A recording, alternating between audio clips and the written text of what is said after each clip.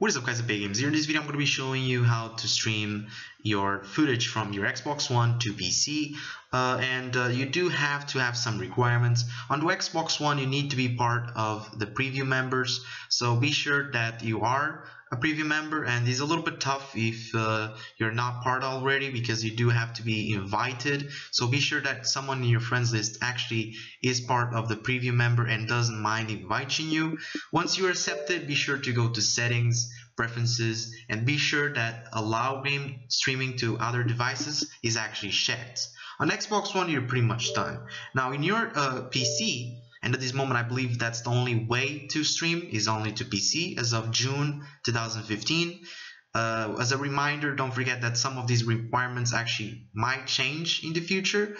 Uh, anyways, now that you are on your PC, be sure that you are part of the preview uh, of Windows 10 uh, and you have the build of 10,130. Don't forget Windows 10 is coming in a few uh, months, actually one month I guess.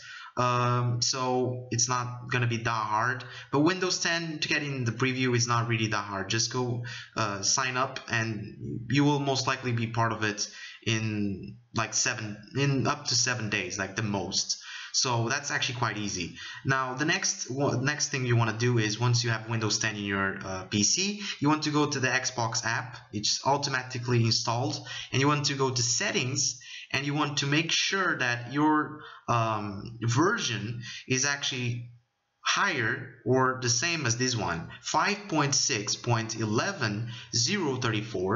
5.6.11.034.00000 so at least this one or above the next thing you want to do is actually go to connect your Xbox One and click on the option stream. So after that, that's pretty much it. You're set. Yes, of course, your internet and your computer will actually impact the overall experience. But in my personal experience, I didn't have no latency, no lag, no problems whatsoever.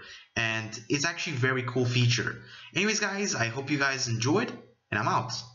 I hope you guys enjoyed this video and if you did, be sure to smash the like button and be sure to subscribe to stay up to date with my latest videos. Thanks for watching and I'm out.